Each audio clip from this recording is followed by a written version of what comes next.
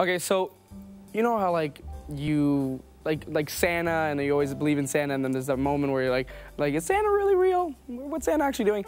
Uh, I remember I always stayed up with my brothers like late until the night and kind of waited to, for Santa to come and to give us the stockings and whatever. And we heard like some ruckus going on downstairs, and we're like, "Oh, this is really exciting! We're gonna see Santa." So we kind of walked downstairs, and we didn't know what the hell was going on. So we kind of like, "Hello, is anything going on?" All of a sudden, I hear my dad's voice come down downstairs. Santa's not done yet.